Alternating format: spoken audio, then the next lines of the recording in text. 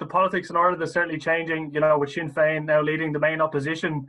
Um, I suppose, Anand, this time last year in the UK, the British electorate were going to the polls, or they had just gone to the polls, and we saw the the crashing down essentially of the red wall in the north. And you've talked there a little bit earlier on about the double edge of the economic issues from COVID and from Brexit, and about the, the ambition that Boris Johnson sort of set out um, that did win him those seats. How would you assess?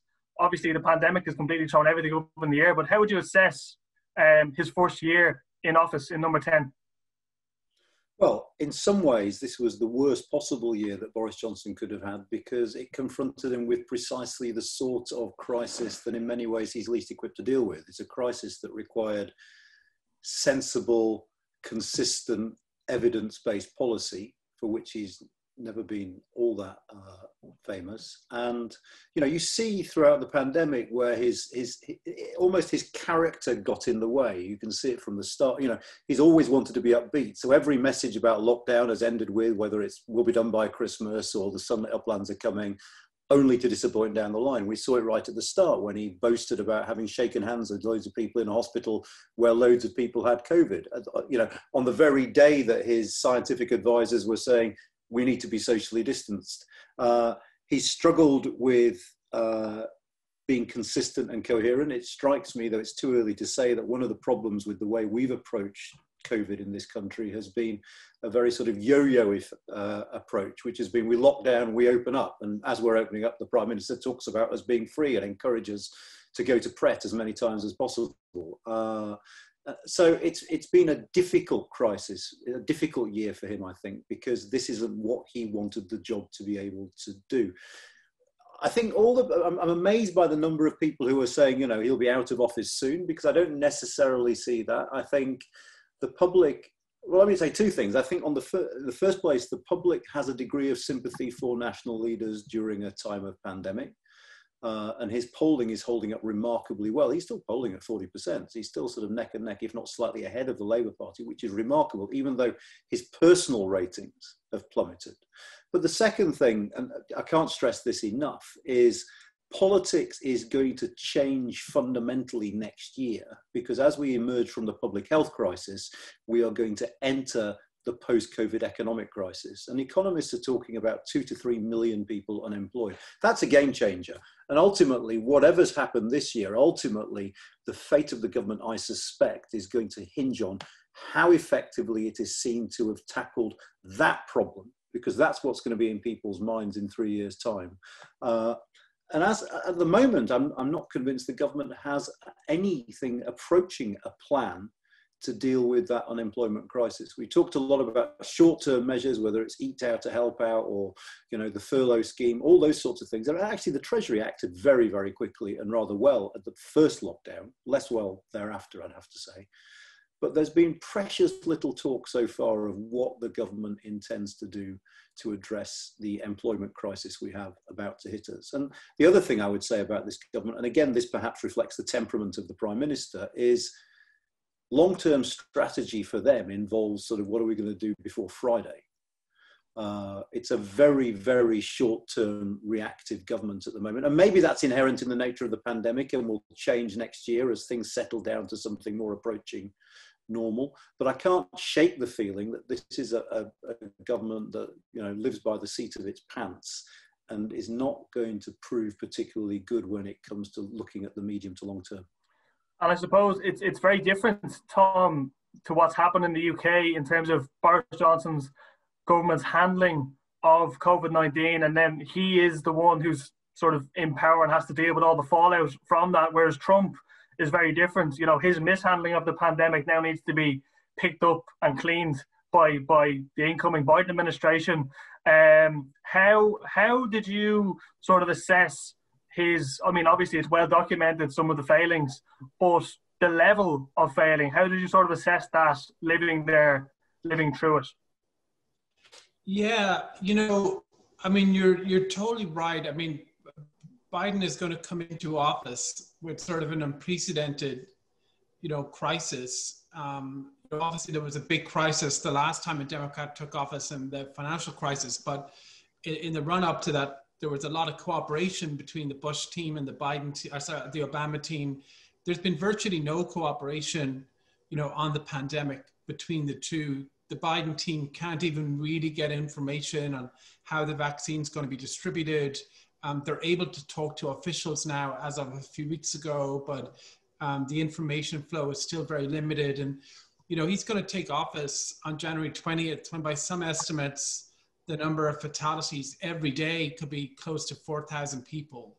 Um, and that will continue throughout February. So, you know, that that is bleak by any sort of description. So his first challenge will really be to try to reset everything to do with COVID to build sort of a national consensus. And he, you know, he has limited power because a lot of it lies in the state. So he'll have to try to use the bully pulpit um, to do that. And then to all the stuff Anand was talking about in terms of the next phase next year, that's where they'll have quite a bit of agency.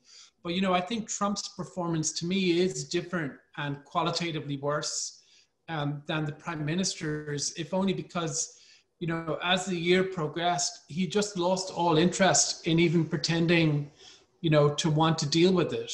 And so it was allowed to sort of just accumulate and to run amok um, you know, there are, of course, you know, there's a very legitimate feeling in all countries, you know, worry about lockdowns and a desire to get back to normal life. And he sort of tapped into that. And that's a very legitimate, sort of natural, visceral instinct. Um, but even if you do that, I think you also have an obligation, you know, to give accurate public health advice and to, to really try to do your best to protect the, the country. And all of that was completely failing. And the other point, Dara, I just make in closing is that, you know, I'm writing this book with a, a, a co-authoring this book at the moment on COVID and the international response. And we've done a lot of research into sort of the US case.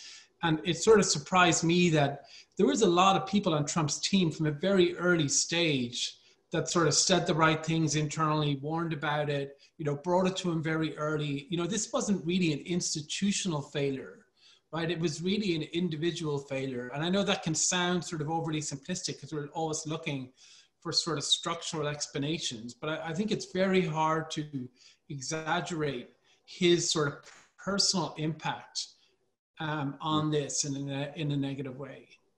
Yeah, well, I mean, fascinated to, to, to read that book because that's mean, that's that's sort of what we were hearing about it. That you know, the warning signals were there, and likewise in the UK, you know, there was obviously some media reports of of of, of Prime Minister Johnson not attending, uh, you know, very high level meetings that he perhaps should have been, and so on. So that's it's, it's very interesting how at the very top that can um, have a detrimental impact. And Shana, I just ask you about. I mean, you heard um, Anand there talking about some of the economic consequences that may lie down the line in terms of the unemployment levels. Um, how how would you assess sort of you know looking first at Ireland and how we responded as how the Irish government responded um, to economic and social channel, challenges of COVID uh, internationally compared with the UK and even the US?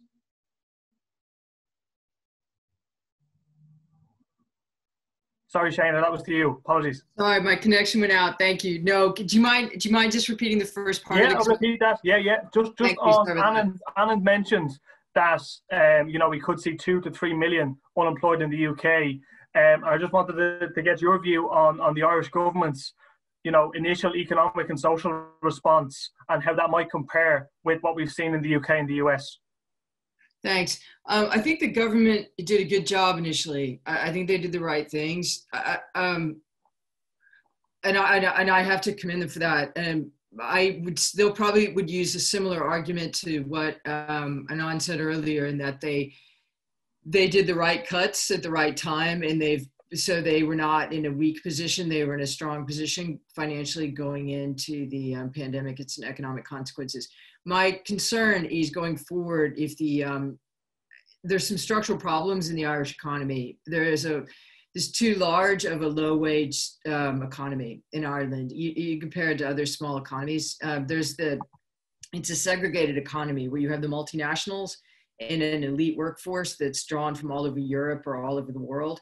And then you have hospitality and tourism and some farming and fishing and other industries that rely on low wages um, and probably a lot of informal labor, like let's say the Brazilian community in Ireland. And that, like, if you look at just the meat processing um, industry as an example of what's going wrong, you have a, a low wage, not very well protected workforce that's been a spreader for for the virus because they have poor living conditions and poor working conditions. And my concern is going forward that that question will be pushed aside and we'll go back to the same problems, but it's not going to go away with Brexit because I mean, that's the, Brexit's going to hit those industries. It's the the multinationals will be fine, but agriculture and hospitality and small businesses that are struggling and, and pay sometimes really low wages, like pay the minimum wage, and you don't have job security, they're going to be affected by Brexit. So I'm hoping that the government is going to be thinking about the structural aspects of, of the crisis as well as just short term. On a related note, Shana, I suppose I can uh, put this to you as well. You, you, mentioned some of the structural issues and some of the short-term fixes have have uh, you know served their purpose, but you know we need longer-term thinking to address those structural fixes. Um, political editor of the Irish Times, Pat Leahy, in a recent column, uh, name-checked TASC, and he referred to as a left-wing economic think tank, and um, he referred to the findings of one of your reports around um, rising inequality and how Ireland didn't conform to international trends. Um, can you briefly tell us why Ireland doesn't conform to those international trends? And do you think that the people of Ireland would be surprised to learn that? Um, Ireland is, does a really good job of redistributing income through its tax system. I mean, it's it's not as progressive as, as the government, successive governments may have said it is, but it does a good job of redistributing income. Um, and so I don't think in some ways people will be surprised because they know about the tax system here. And in general, like wages have been going up. And that was Seamus Coffey has made that argument repeatedly over the, the um, economist over the past couple months. And he's also sort of addressing TASC. But um, the problem is that income inequality has limited explanatory power you also need to think about what that income purchases. And Ireland has a really high cost of living, and housing is out of reach for younger generations. I think, in addition to income inequality, we're going to have to increasingly think about intergenerational inequality, and we're also going to have to think about what that income purchases in terms of not just housing, but also the fact that Ireland doesn't have universal primary care. So anecdotally, I know lots, of, particularly young people who won't go to the doctor because they can't afford it. That initial 60 euro visit, you know, are, I, I find even with my own income, which is the top 10%, you know, I'm thinking, do I really want to do this because I know I have to pay for it? I came from the NHS in the UK where for all of its problems, it's a, it's a magnificent institution because you just walk in, you don't pay for it. And, um, and, you know, and you get really good health care, at least for the, you know, for right now. So I think it's a limited story, and to fixate on income inequality to describe what's going on in Ireland is um, it's going to have very limited in, impact on policymaking. Policymakers need to think about the whole picture, which includes access to health and access to housing. Thank you very much, Shana. Um, there's a couple of questions coming in. Um, any any attendees watching in, please continue to send in your questions. Um, Aoife, I just wanted to turn to you on, on the issue of Brexit. And sorry, we're sort of jumping from issue to issue, but um, you're a Derry native, and what have you made of Northern Ireland sort of being at the centre of, of Brexit over the last number of years, and and and how have you seen it from from sort of a Northern Ireland perspective? Uh, yeah, so I think like most people in Northern Ireland, um, we can kind of laugh about how we seem to be a pain in the side of the British government and a pain in the side for the Irish government. Um, I think, you know, in Brexit, and it was made very clear to people on the island of Ireland uh, what Brexit would mean for the North and, you know, for the Republic. And I think, you know, anyone would agree that the lack of knowledge from the British government side about the, the impact of Brexit would have on the North was quite stark. I think there was a lot of debate at the time about it, but it became incredibly clear that the politicians either had very short memories or did not know enough about Northern Ireland to be advocating for a Brexit that they didn't know how it would affect the North. So, yeah, I think, you know, the Irish government, um, successive Irish governments now deserve credit in the way that they've handled Brexit, you know, and the EU, I don't think anyone could have said they really expected as much EU solidarity as we got. You know, it became very clear that the EU was behind Ireland all the way and, you know, and behind the peace process all the way. And I think that was really, really heartening. I don't think anyone expected any different, but, you know, we'd heard a lot in the, you know, the Daily Express and the Telegraph about how, you know, the EU were going to lean on for Varadkar and lean on Coveney and that just never happened. There never seemed to be any falter there, but it didn't surprise people in Northern Ireland because we are we often see that other states, whether it be the Republic or Britain, don't really understand the North that well. And I think the border issue was such a, like a really emotional issue for people on both sides of it. And as someone who lives on the border and my dad works in Donegal, so he crosses the border six, eight times a day. Um, you know, it became very personal and people became very, very afraid, you know, when there was talks of border posts and checkpoints and, you know, I grew up, there were still border posts and checkpoints around when I was growing up, so, and I'm not that old. So I think, yeah, it became um, quite clear from the British side, especially, that there was not enough knowledge about Northern Ireland, about how Northern Ireland trades, about how Northern Ireland works, and about the communities there. And I think a lot of people were very let down by Brexit, especially because Northern Ireland obviously voted to stay. Um, and I think that vote was very much based in the fact that people in Northern Ireland knew what was best for them, and we knew that Brexit would have been bad for Northern Ireland in a state that already has a myriad problems with poverty and inequality, you know, I am dreading any kind of recession coming to the north because it's I can't imagine how bad it's going to get because in the last recession, because of where the north is situated, we kind of got both sides of it. So you kind of feel after effects from both sides of the border on in recession, and I feel like this is going to be the same. So yeah, I think a lack of understanding from both sides, but mostly from the British side. I don't think many people were surprised. Thanks very much. A um, couple of questions coming in. I'm just going to go to audience questions now. Some of them are directed at specific speakers, but if you, if you want to jump in, uh, please do. Um, Anand, the question for you um, comes in, and, and it's how do you think, or how difficult do you think it will be to rebuild sort of the Dublin London relationship, and has that been damaged throughout this Brexit process? And they also throw in, um, you know, given we are coming up to the centenary of Northern Ireland, you know, the establishment of the North, um, will will these relations be able to be sort of rebuilt over the over the coming months and years? Well, I think it's obvious that relations between Dublin and London have been affected. I mean, you simply needed to listen to the tone of voice when the internal market bill was introduced into the European Parliament of people in Dublin to, to get that that was offensive apart from anything else. Uh, can they be rebuilt? Yeah, absolutely. But uh, it depends on lots of things. It depends on how seriously the British government take their commitment to Northern Ireland. Uh, and it depends on how well the Northern Ireland Protocol works. There are hopes among some people that if the Northern Ireland Protocol can be made to work well, Northern Ireland will enjoy the best of both worlds. That is to say, it'll have more or less unfettered access to the GB market and trade with the European Union as well. In fact, when it was being negotiated, one of the interesting sort of uh, pushbacks on the EU side was from for a short while there were some in some member states who resisted the Northern Ireland Protocol because they, they feared that Northern Ireland would become a manufacturing hub. Uh, enjoying investment from both sides. Now, obviously, the debate in the last few weeks and months hasn't been about that. It's been about the constraints imposed on businesses in Northern Ireland. But if if the UK government in particular plays this well, you could end up with a pretty good outcome for Northern Ireland.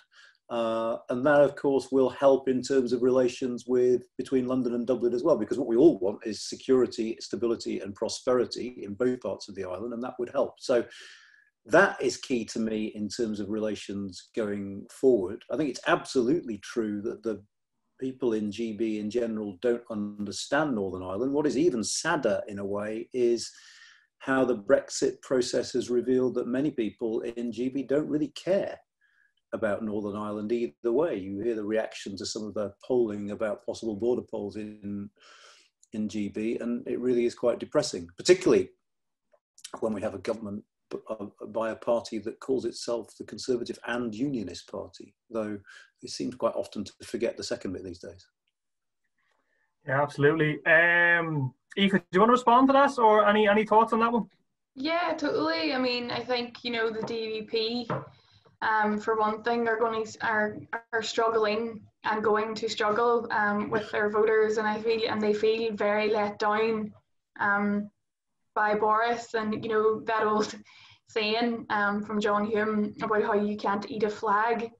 I don't think I there's been any other time other than the peace process where that was more apt, and I think you know this notion of a border down the Irish Sea is incredibly disappointing for certain communities in Northern Ireland.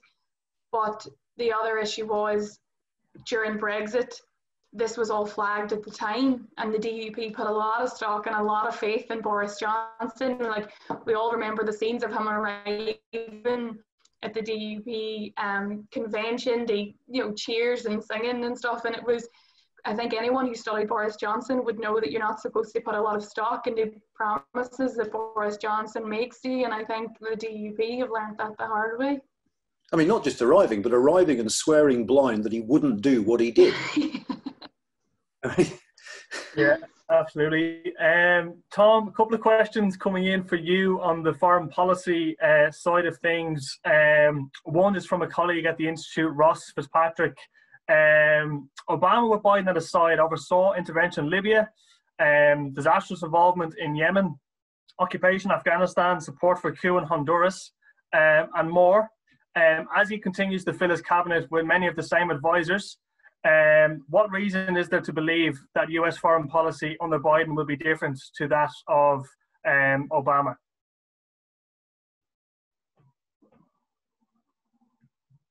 Was there a second one as well you wanted me to? Yes, I'll throw that in as well. Um, it's very similar. Um, how do you think Biden's foreign policy will differ from Obama's? Uh, will he be more assertive or continue to be a polite, orderly caretaker of America's decline? Right. Yeah. No. Great question. So on on the first one, you know, I think, I mean, to me, I think there's been a pretty big shift on interventionism in that the the Biden team, I think, is very skeptical of large scale uh, or really any sort of major military interventions, and does not want that to define their foreign policy. I think they're looking for ways to withdraw from Afghanistan.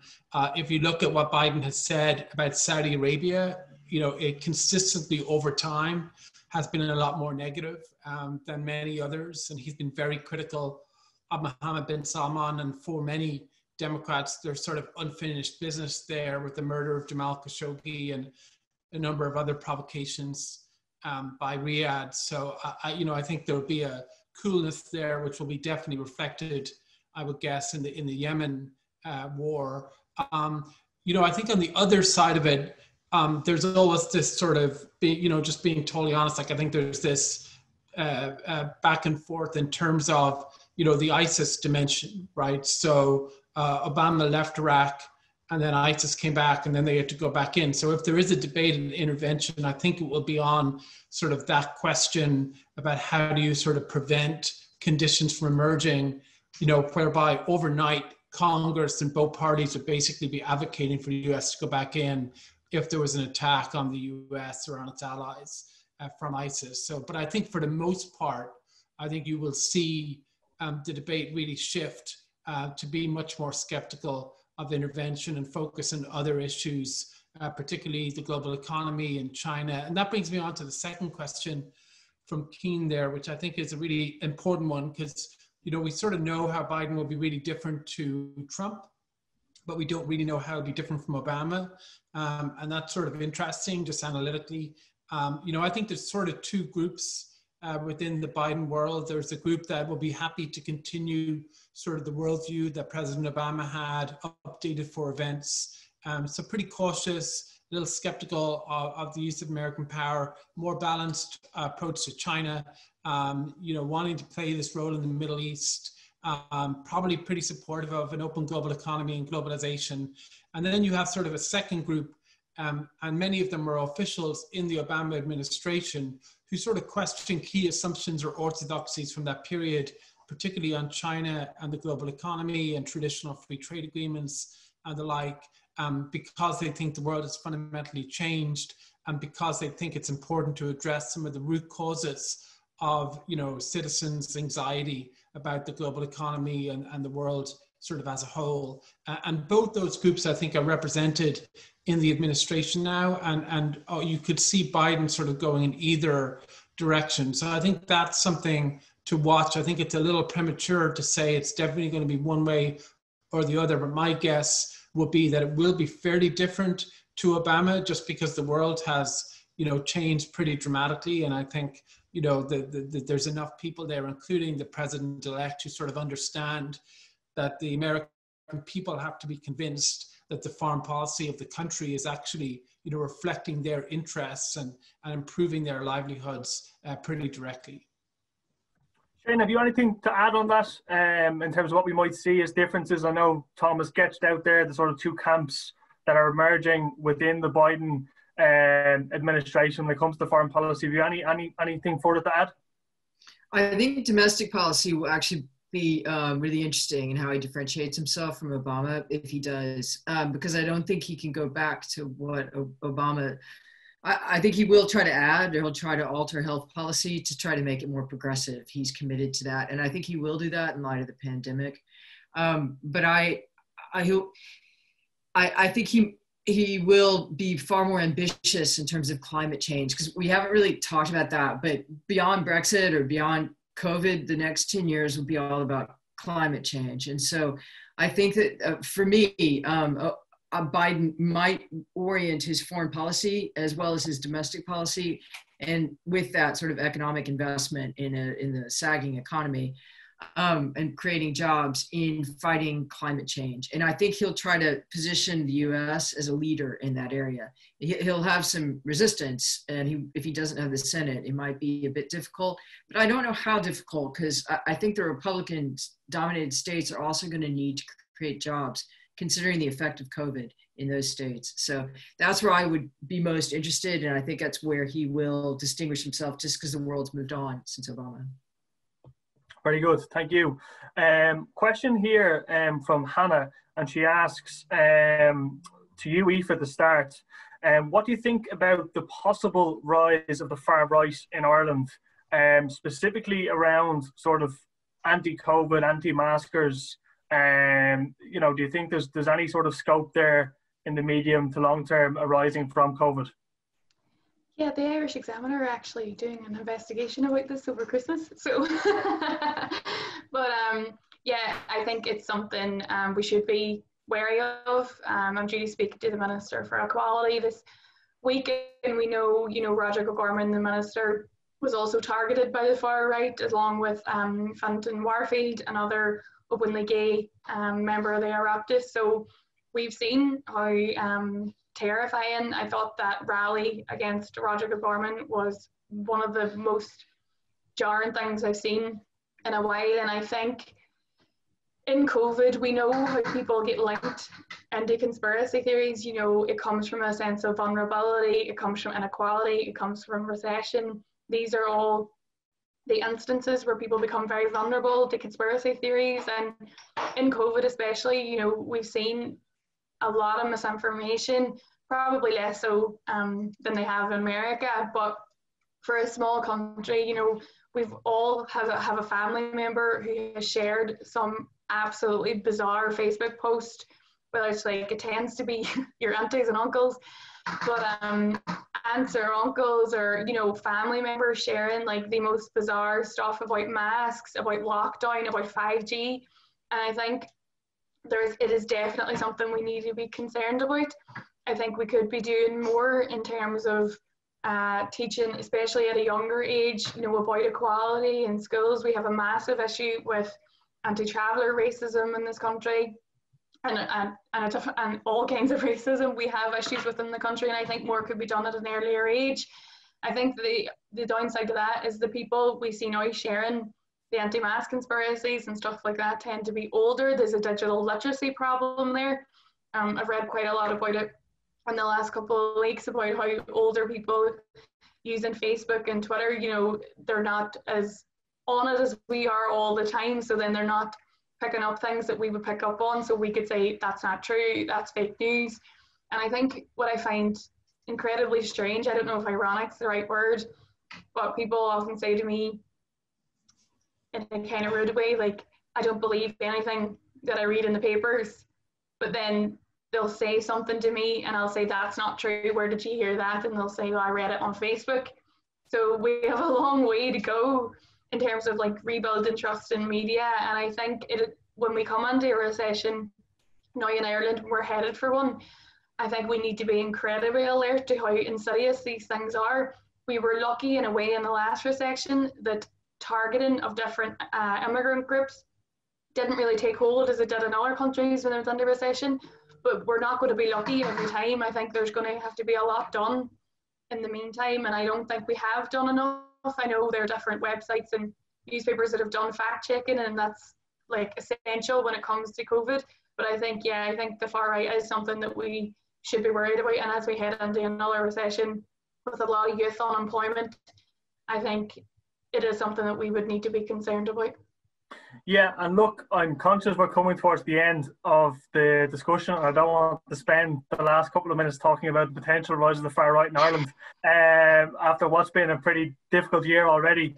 But um, Shana and Tom, and even Anand from your studying of, of, of Europe, um, Ireland has sort of bucked the trend in terms of you know Western democracies not having a sort of uh, big foothold of the far right. Um, you know, we did experience a really severe recession post 2008 financial crisis. Um, what would you put that down to, Shana? How did we not succumb to that? And um, you know, I don't want to spend the last five minutes talking on this, but I mean, do, do you have any sort of ideas why why we, we didn't go down that route? Uh, I think the last recession you had immigration as an outlet, people could leave, and it was it's an accepted way of dealing with economic depression here in Ireland. And then um, I also think that Ireland's history is unique um, because it's other countries are becoming more conservative. Ireland is becoming more liberal. So I, I think that that helps. And finally, um, you do have a nationalist populist party, but they're left leaning, um, and that's they're not there's no equivalent to Sinn Féin in other countries. Tom, any thoughts on that? You know, having sort of lived through Trump and and watching sort of the far right movements pop up in in Europe.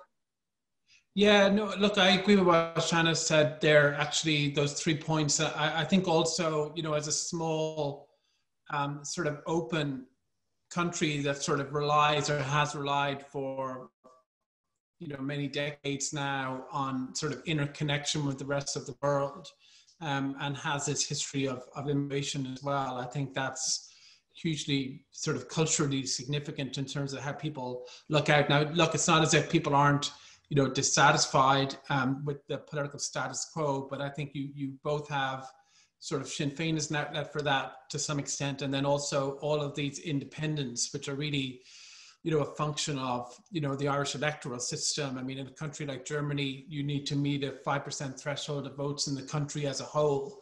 Um, so whereas, uh, whereas in the Irish system, you know, people can vote for that local sort of candidate who's wanting to express their sort of dissatisfaction with how things are going. So I think all of that um, has sort of helped, but I agree, you know, not to be uh, complacent. And I think the next couple of years, you know, will be sort of a challenge just in, for the whole world, really, and just recovering from COVID and doing so in a way that, um, you know, that is seen as sort of fair and equitable and also, you know, really dealing with the, a once in a century sort of economic crisis that has come from a once in a century pandemic.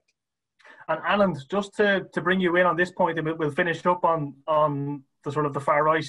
Um, there has been, you know, sort of backlash to the, the, the Black Lives Matter movement in the UK. We've seen only in the last couple of weeks, um, you know, football players taking the knee and being booed as the fans have come back into stadiums. Um, you know, how, how worried should we be of that trend, um, not just in the UK, but, but more, more broadly? Well, for a moment, I thought you were planning to humiliate me by asking about Irish politics in front of an Irish audience. I was going to pretend my signal had gone at that point.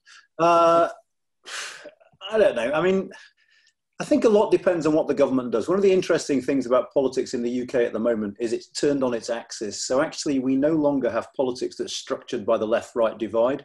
If you think that 82%, I think, of Conservative voters last December were Leave supporters. What you have now is a sort of identity divide that structures our politics. Uh, you have sort of social liberals who vote for the Labour Party, social conservatives who vote for the Conservative Party. The danger, I think, particularly given the economic problems that are going to confront us and the divisions within the Conservative Party over economic solutions to those problems, is that the government resorts to the language of identity. That is to say, that the government thinks, how do you hold together a values coalition with very different economic interests? You don't talk about economics, you talk about values. To date, despite the comparisons made between him and Donald Trump, Boris Johnson has been relatively restrained on this. He was quite quiet on the statues thing uh, in the Black Lives Matter protests. He could have played on that a lot more. He's actually liberalised some aspects of our immigration policy. It's gone largely unnoticed, but this points-based system gives opportunities to people from outside the EU. And you know, the British people have become more liberal about uh, immigration since 2016. So for me, the ultimate danger is a government that plays culture politics. Uh, if the Conservatives decide, because of their own internal divisions, that that's a way to keep their voters together, then we're in for problems, I think. If they don't, if Boris Johnson, and we don't know what sort of Boris Johnson we'll get next year, if he is more of the sort of liberal mayor of London, Boris Johnson, and less of the head of vote leave, Boris Johnson, then actually I'm relatively relaxed for the moment. Okay, okay, thanks very much. Um, to wrap up, just just one question to everybody: um, Was there anything at all worth celebrating in 2020? And um, that's a question that's come in. Was there was there anything worth celebrating? And if there wasn't, um, do you have any hopes for next year? And you can't say vaccine because I think we all hope for that one. Um, Tom, I'll start with you. Was there anything worth celebrating? And if not, what, what are your hopes for next year? Yeah, well, apart from the obvious about the election as I was talking about earlier, which I think was a very non-2020 way to end 2020, so that that was a huge relief uh, over here. But I think setting aside politics, you know, a difficult year I think for everyone, but really great to be. You know, I think we've all learned how to connect with each other. You know, uh, online for events like this. You know, a year ago, you never would have and we never at Brookings would have basically had a, a, a, partially virtual event where speakers would come in from around the world. So I think that you know has uh, been a really positive change and will hopefully sort of continue. But I guess otherwise, you know, I'm just looking really looking forward to getting back to Ireland next year. I think it's been the longest ever time that I haven't been back for for a whole year and to be a year and a half. So that's what I'm looking forward to in 2021. Brilliant. Aoife, coming to you. Anything worth celebrating and what are you looking forward to next year? Well, I was supposed to get married this year, so hopefully I'll get married next year. um, the only thing, I don't know if it's worth celebrating, but I am intrigued by the working from home issue now and how prevalent it becomes. And just in Ireland, we know the issue of the housing crisis and the issues around Dublin and the kind of city centres and, you know, these long commutes and the housing crisis and the rent prices keep going up. And I would like to think that as we come out of this pandemic, people will be more inclined to stay where they live and still be able to have good paying jobs that might be the multinational whatever it is might be based in Dublin but they get to work from home. I just hope it gives people more options. I think it would be essential for rural Ireland that we can get people staying in towns and villages. And I think if nothing else comes from COVID, if we just take that away, that not everyone has to move to Dublin or Cork or Galway to get a job, and just people have more options. And then that goes for childcare and you know cost of living and a million different things. But I would like to see you know if we get anything out of it, that if we could just let people have more options when it comes to work. I think that would be a good thing for us and a good thing for the environment. So that's all I'm taking from 2020. Brilliant. Shana, come to you.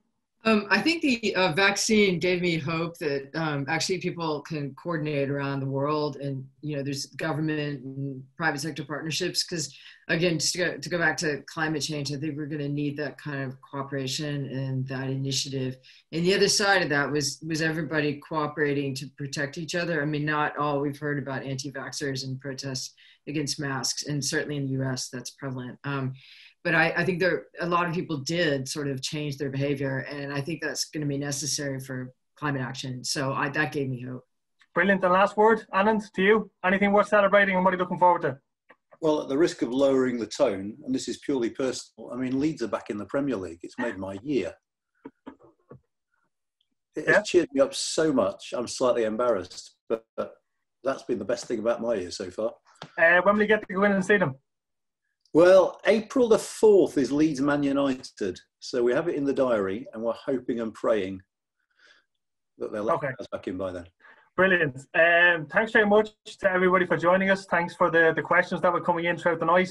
And uh, really thank you all for your time this evening, um, giving up an hour. I know everyone's very busy and uh, really, really appreciate it. So thank you.